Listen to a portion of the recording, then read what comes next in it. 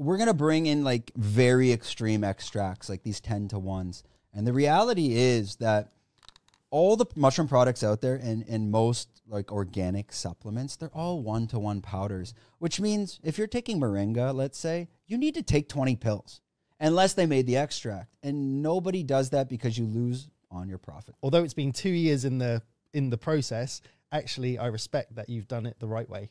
Uh, because too many people are after a quick buck take advantage of